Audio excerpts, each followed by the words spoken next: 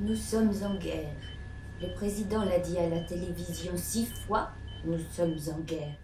Ce sont les pompiers qui ont dû intervenir dans la maison d'Ernestine, car elle ne répondait plus aux appels téléphoniques de sa fille depuis deux jours. Ernestine s'était cloîtrée chez elle depuis l'annonce présidentielle. Les hommes du feu ont eu beaucoup de mal à ouvrir la porte. L'armoire bretonne avait été glissée, et bloquait l'entrée.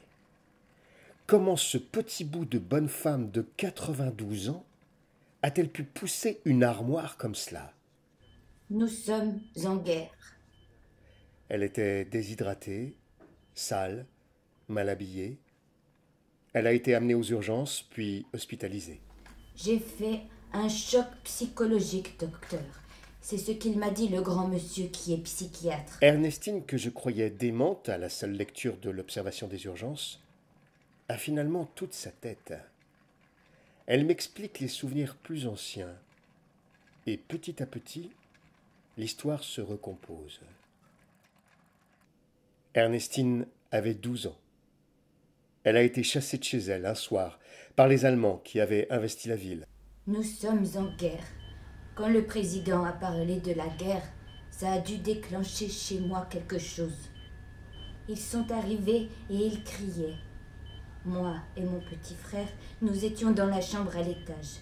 J'entends encore le bruit de leurs bottes dans l'escalier.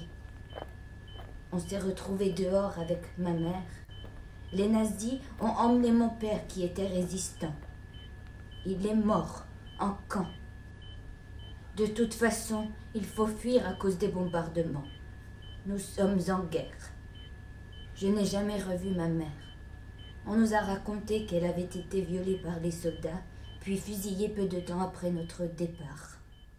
Nous sommes en guerre. Votre guerre, Ernestine, était d'une autre dimension que la nôtre. Le discours présidentiel a fait ressurgir le syndrome post-traumatique. En tout cas, ça va mieux maintenant, docteur. Maintenant que je sais que c'était un choc psychologique. Je ne suis pas folle, rassurez-vous.